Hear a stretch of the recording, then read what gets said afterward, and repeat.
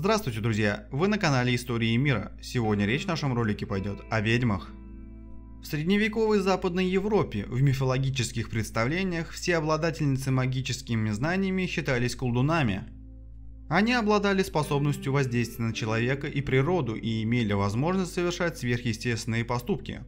Проникать через закрытые двери, похищать сердца людей, летать по воздуху, наводить порчу на урожай и скот, вызывать болезни – о них ходили слухи, что они имели возможность заключать союзы с темными силами и дьяволом, и служить ему, вступать вместе с ним в половые отношения, совращать всех верующих и губить их души. Все представления о способностях ведьм и магии до эпохи начала развития Средневековья оставались на уровне слухов.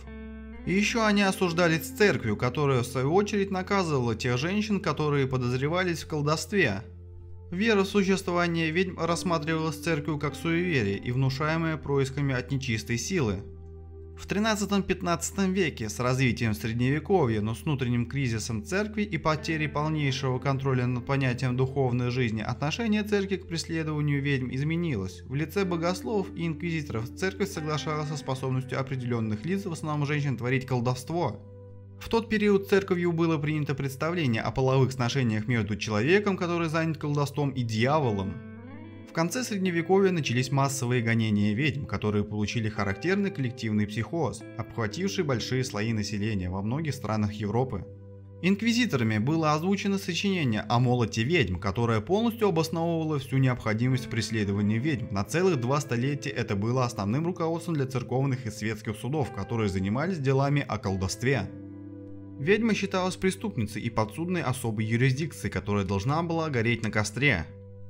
Все обычно начиналось с судебного преследования, с обвинения в колдовстве, которое выдвигалось соседними или простыми прохожими, с которыми оказывалось в конфликте обвиняемое лицо.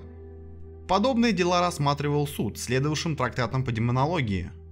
В тот период количество таких дел увеличивалось. Суду было мало одного признания о колдовстве от ведьмы, им нужно было доказать, что она находилась в союзе с дьяволом и с помощью его власти делала злодеяния. Связь темной силы и служение ей рассматривалась как тяжкое преступление, которое было предусмотрено всеми правовыми кодексами в 16 веке. В отношении обвиняемых в колдовстве применялась определенная процедура, которая сопровождалась пытками – когда было получено искомое признание, ведьма подвергалась дальнейшему изгонению, но чаще всего сожжению. Те из обвиняемых, которые не признавались и выдерживали страшные мучительные пытки, считались невиновными. Народные верования в существование ведьм в тот период сочетались прежде всего с правильным демонологическим учением. В средние веки гонения на ведьм были и со стороны светских властей и церковных сторон, так и со стороны масс обычного рядового населения, которые старались разрушить народную традиционную культуру. В те времена женщина была как главным объектом гонений, так и главной носительницей традиционных народных культур. В 16-17 веках новым методом в преследовании на ведьм было то, что светская власть и церковь стали видеть в них уже не только одиночек, но и групп ведьм, которые собирались на шабаш – Вместе с верой во вредоносных ведьм существовала и вера в хороших, добрых ведьм, которые обладали способностью нейтрализовать плохие действия первых и вступать с ними в борьбу. В Западной Европе большая охота на ведьм отражала огромный кризис и распад общества. Люди той эпохи всю ответственность на неурядицы возлагали на всех чужаков и на так называемые маргинальные элементы того времени – все страны протестантской и католической Европы были охвачены преследованием ведьм, но в некоторых отдельных регионах существовали свои особенности. В те времена множество мыслителей пытались отстаивать свою веру в ведьм и обязательную необходимость их постоянного истребления. Только во второй половине 17 века, когда вызванный террор массовыми долгими преследованиями ведьм стал утихать.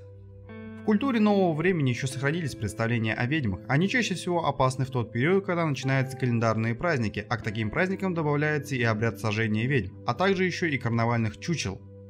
Преследование ведьм у славян не имело такого массового характера, как, к примеру, в Западной Европе, но все-таки по народному предположению казнь ведьмы это, как правило, сожжение, которое необходимо для прекращения засухи или мора. Ну что ж, друзья, вот и подошел наш ролик к концу. Ставьте лайки и подписывайтесь. Спасибо за внимание.